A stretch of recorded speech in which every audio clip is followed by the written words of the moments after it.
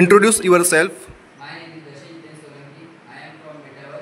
I am studying in 10th standard. Today, I will ask some question. Can you give me answers? Yes. So, tell me, what is the direction of electric current The direction of electric current is positive terminal to negative terminal. and direction of electron? Direction of electron is negative terminal to positive terminal. Okay. Then explain me Fleming's left hand rule.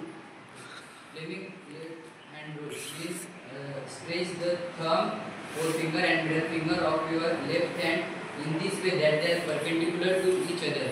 In this case, forefinger shows the direction of magnetic field and middle finger shows the direction of electric current and thumb shows the direction of motion of conductor or force on conductor. Okay, very good. Then what is the unit of current? The unit of current is ampere. Very good. Explain me this figure. This Yes. This figure shows this is our thumb motion of conductor and this is our middle finger which shows the direction of electric current and this is forefinger which shows the direction of magnetic field. Very good.